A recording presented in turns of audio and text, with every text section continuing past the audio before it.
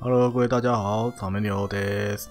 今天要带来的介绍是有关演习场的一个变化，教你如何认识演习场，以及怎么去准备演习场的一些美美嘎嘎。好，我们话不多说，直接来看一下有哪些需要注意的地方。好，首先我们要先简单认识一下演习场的 buff 有哪些。那简单来说，演习场的的 buff 其实蛮简单的。第一个就是我们所谓的最终耐久度。最终耐久度怎么算？就是你船体本身的数值白字部分，加上你装备的的一个数值，最后乘上一个耐久系数，就是会有最终耐久。那什么叫做耐久系数呢？就是一百级的时候有二点一。一百二十级是二点三四，也也就是假设你的船装备加船体本身是八千血的话，一百级的八千血乘以二就是有一万六，反正基本上耐久是两倍以上在做计算。那这个耐久度有什么关系呢？其实，在有些回复技能上面，其实也是会直接用最终耐久来做一个回复的动作。所以在回血上面，这个最终耐久其实也是技能上面需要考量的一个一个部分。好，那接下来另外的地方就是只有进攻方才有的进攻方 buff。进攻 buff 就是我方的角色被对方打，会降低二十趴的伤害。所以对方怎么样打我，就是有减伤二十趴。这顾名思义就是两边的阵容、装备、角色等级都一样的话，你是进攻方，你绝对有优势可以打赢他，因为我减伤二十趴。所以进攻方永永远都有优势，所以你只要不要差距太大，基本上进攻方赢的几率都很高。所以不要怕说打不赢，只是说你有没有对症下药而已。好，接下来我们要讲一下演习的历史。那以我这边是以日服演习的变化来带你去了解说，怎么样的演习队伍需要用怎样的方式去克制。因为演习队伍其实有很多种变化，很难说用一艘一艘的船去介绍。那我倒不如说整个历史回顾一轮，这样你可能就知道说，哦，大概遇到什么样的角色、什么样的阵容，你可能需要用什么样子的一个阵容去应对，这样你会比较好了解。好，首先第一个阶段，新手初级，我们一开始玩的时候都是只有传统皇家队，因为传统皇家队是最好被建立的。所以传统皇家队很好建立，然后重点就是这个 Q E，，它有皇家的一个核心，所以皇家核心基本上都靠它。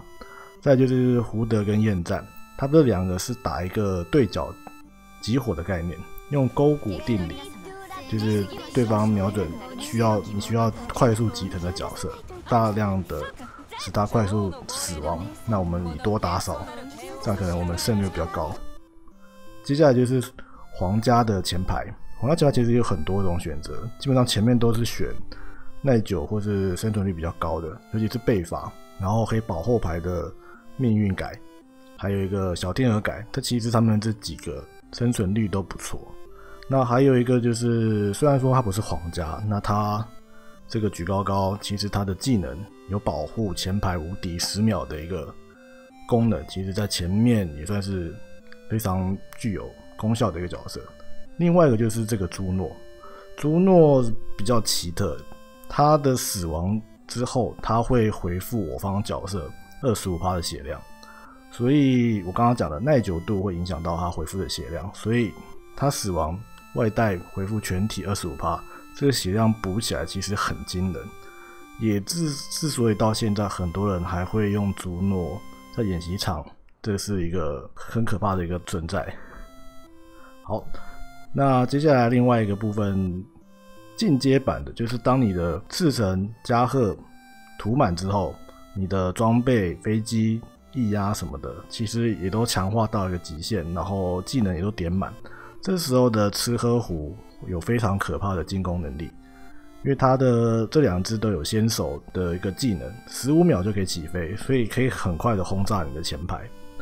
那胡德也有弹幕，还有他弹幕发出来有加增加装填的优势，所以他们后排的整个输出的时间会非常的快，会很快扫除敌方的一轮，在进攻上面非常的有优势。那除了吃喝虎之外，其实吃喝气业，其实在你有足够的装备及情况之下，都是非常的强势。因为先手嘛，天下武功唯快不破，谁先死谁就没输出。所以吃喝在后面的演习场有蛮大的发挥。那前排就是基本上都是放一些比较坦型的、生存力比较高的一些角色。好，那有了吃喝壶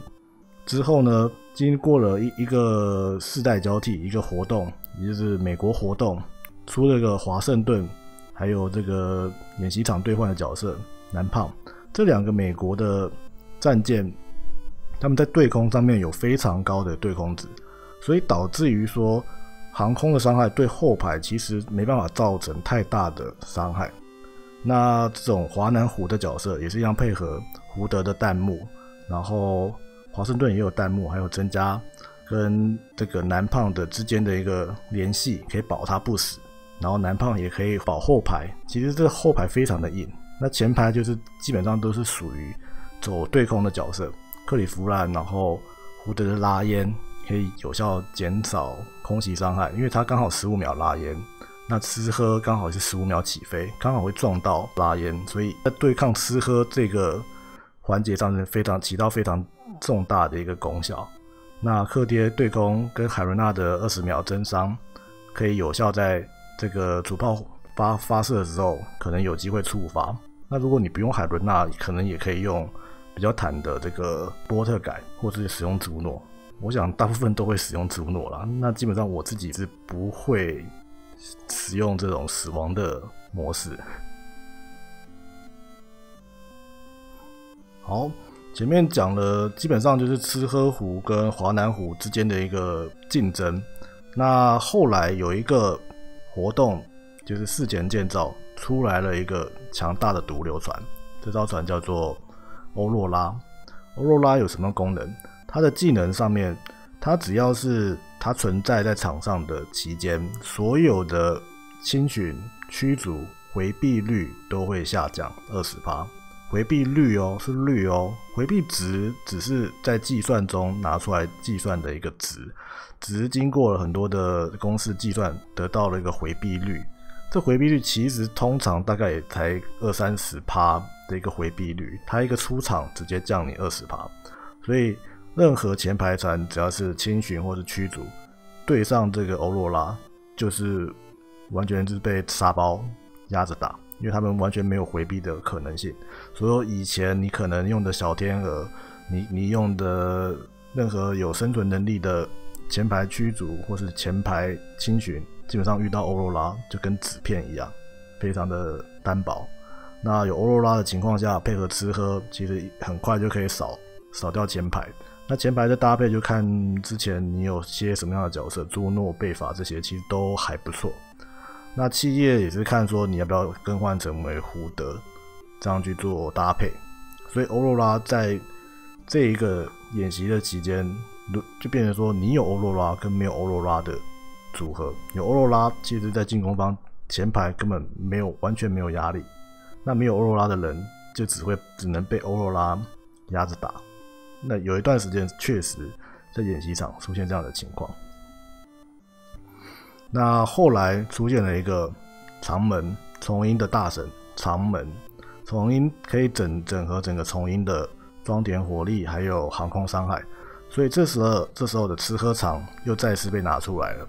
吃喝长有长门的 buff 之后，伤害又更往上一阶跳，然后加上我们之前的欧若拉，还有后面可以十张可以打捞的神通，还有川内。川内还有一个技能叫做照明弹。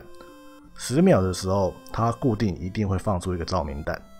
那范围内所有的敌人也会被下降回避，所以这跟跟欧拉一起搭配，配合十五秒的吃喝，基本上前排没有生存的可能性，在这个时期没有任何人可以生存，加上长门也有大七级的弹幕，这大七级打出去，基本上你可以宣告你已经死亡了。那车长这个阵容主要是后排输出，那前面前面的角色其实也可以更换很多，有雪峰，有有凌波，基本上都是靠靠着欧罗拉的这个霸者前排可以马上的应声倒地，然后变成六打三打后排的局面，所以霸占了很久这个位置。好，那吃喝长霸占了一段一段时间之后呢，一样有飞机，那就要找出我们的美国队。美国队又是华南体系，华南体系华南体系本来在防空的优势上就不错，后来出现了一个艾塞克斯，这个饺子级在防空的表现上，还有在进攻方的表现上都不错，因为它还有进水，进水这个底 buff 跟点燃是一样的，它是固定有跳伤害的，所以它的伤害比比起这个大一要靠运气来说，其实它是固定一定会发动进水的伤害。那后来三 D 五也发现改造之后，三 D 五的整体对空也起来了，那包含了前面讲的斯科克星被法的拉烟，还有科研船的崛起，基本上这一套系列已经可以跟吃喝厂做抗衡了。所以后面的科研进驻、三 D 五的改造，还有艾塞克斯的这个这个建造，其实有很明显是针对吃喝场这个阵容去做打压的。后来下一个版本，另外一个全新的毒瘤又出现了。这毒瘤是谁？天成。天成这这个毒瘤非常的可怕，它拥有弹幕，拥有减降低对方的任何的伤害，火力跟航空雷击全部都会降低，在演习场非常的可怕。再来呢，它也有保后排回避的一个可能性，它会增加后排的回避力。那对方大炮打过来，其实回避率其实有明显的上升，对于后排其实有蛮不错的一个保护力，所以它非常的可怕。那配合重音体系，配合长门，还有加上一个飞龙改，飞龙改前面就已经有不死，那不死之后十五秒不死，还会额外再触发飞机弹幕。然后它本来每隔几秒钟，每隔十几秒就会发一个飞机弹幕，那个飞机弹幕其实都会有造成神风伤害的可能性。所以这变成说，长门可以 buff 飞机，它又可以不死，不死之后，这个天成也可以提供很不错的保护能力，可以可以保护后排，也可以降低对方的打击能力。所以这个组合非常的硬，而且很难打。你打的越快，反而越你你被反击的也越快，因为飞龙不死之后，它会召唤出它的一个那个舰载机出来攻击你，所以非常可怕。加上重音体系。可以给一吹做发挥，开场两两波的雷击，然后背法的拉烟弹度，你可以防止对方的航空伤害。再来雪峰也提供了很强力的弹度，还有保牌的能力。基本上活到最后，前排比较多都是雪峰活到最后，所以天龙门这个体系也是称霸了好一阵子。那底下其实也可以换一些猪肉，或是比较比较坦的其他的主力。那因为这边可以满足重音的条件，所以基本上用用重音的阵容会是比较好的。那天龙门之后一段时间之后，有一个叫做厌战改，厌战改出来之后，其实又可以回复到以前跟胡德的一个打对角的形态。那也是一样配合这个天成降对方的能力。所以这两边其实互相都有人在做使用，那只是说防守端用天龙门是比较麻烦的，因为防守因为它有十五秒的不死，所以非常的拖台前。那进攻方基本上这个君彦天现在如果不是要打天龙门的话，基本上要打什么对手都还还 OK，也是一样可以利用君主就是。进阶版的胡德嘛，跨射跟我们厌战的神射手，它也有强化，可以第一发打出很高量的伤害，尽早秒解决掉敌方的后排主要输出来源。所以这个金怨天其实也是很适合去打你想要针对的角色。那如果金月天要打天龙门的话，其实都蛮看运气的，因为金月天主要要打的角色，第一个要解决的角色就是对方的这个天成。你的你的对角摆好，瞄准天成，尽快能把天成解决掉的话，对金月天的优势会越大。那如果很难解决的话，因为后排其实很会回避，然后伤害其实也不太会出来，所以大概一轮一轮两轮，如果弹幕没有出来解决掉对方的的天神的话，其实很难收拾。那前排基本上大家都会用一样，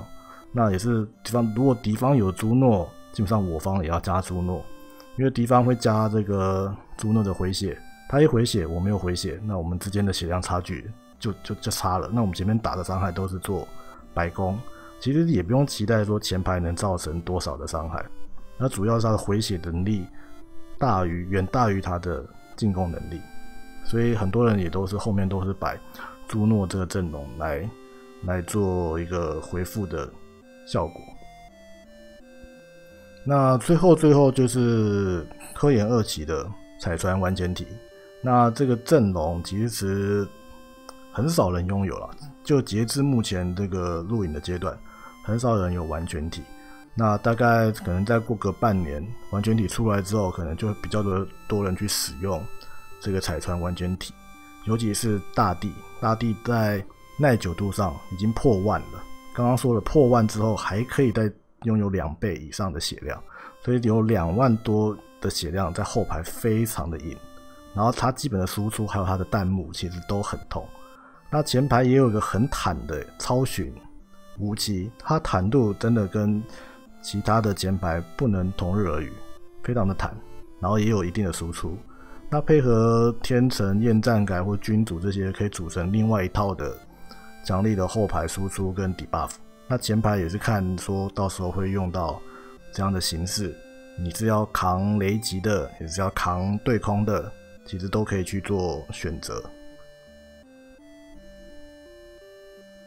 好了，上面介绍这么多，一路看下来，你大概知道演习场上面的霸者或者是毒瘤有哪些人了吧？没错，就是我们的。朱诺、欧若拉还有天成，朱诺从以前到现在都一直活跃在演习场上，因为他的死亡回血带来的生存力非常的有效益，因为耐久两倍嘛，所以他回血量很大。那表示我说我们打的伤害会被他回起来。如果我方的伤害打不出他打不赢他回的血量以上的话，其实朱诺的效益就是非常的有效。那另外一个欧若拉的部分，也是因为它可以把对方的驱逐还有清寻当做沙包在打，那也可以利用欧若拉这一点去打朱诺。那我们可以用开场的雷暴队，就是像神通、伊吹这种有开场鱼雷非常强劲的那个主那个前排，去对他造成极大的伤害，在他们对方还不来得及受到主要伤害之前。就先把它给集成，造成它的血补血效果，补在几乎是满血的状态下，等于说就是易补，没有任何的效益。所以欧罗拉其实是有有效去克制这个朱诺这一点，不过前提是你要有能够有这么高杀伤力的雷暴队。那再来就是天成，天成没话可说，三个技能，三个技能其实在演习场上就是很好用，不只是在演习场，连在一般推图上面都非常的好用。好了，那我们接下来介绍介绍一些简单的核心设备吧。那首先航母部分，航母就很简单，就是液压跟这个燃料。燃料可以增加我们的舰载机的耐久，还有飞行速度，快速的触底，然后大量的血量，造成更大量的神风伤害。那战舰战巡的部分，主要就是命中，因为雷达提供命中还有回避，那对于后排的生存还有命中非常的有效。甚至有人更夸张，会带这个小海狸或是。油压躲，增加回避率，增加生存。那如果你是想要进攻快一点的话，或许有这个金色的火控或是白弹，反正首选就是命中，因为你打同级的敌人，基本上就是看命中，没有等级压制的问题了。好，那接下来重巡部分，其实他们也是缺乏命中，那也是给他一个回避，因为中甲其实也怕鱼雷，所以挡雷板。在这个重巡身上也是蛮常见的。那航速过慢也是可以使用这个小海狸。那轻巡的部分可以可以提供它一个航速的部分，或是回避，或是带一个珍珠眼泪。其实基本上轻巡是轻甲，所以对鱼雷的伤害还可以稍微抵抗。那如果你面对对方是雷暴队的话，或许你也可以考虑上一个挡雷板。那在驱逐的部分，驱逐其实血量很低，它其实最怕被点燃，所以灭火器是必备的。那如果你遇到吃喝场有先手空袭的情况下，其实带一个对空雷达也是不错的。除了金的话，还有紫色的也是可以选择。那如果其他只是前前方主炮的队伍的话，或许你也可以带一个锅炉来增加航速，让你增加前排的闪避航速的话，其实比较可以减少有效的命中机会。好啦，以以上就是今天给你简单介绍一下这个历演习的一个历史演化，然后一些装备的推荐。如果你有更不一样的想法的话，那欢迎你在下面提出来。那或者其实演习就是很多种很多种阵容啊，很多种组合，其实没有说一定要怎么样，只是说可以提供你有比较好的胜率去打一些特殊队伍。当然啦，每个人都 简单打的话，就不用那么麻烦了。好了，以上是今天的介绍，希望有帮助到你。那我是草莓妞，我们下次见啦，拜拜。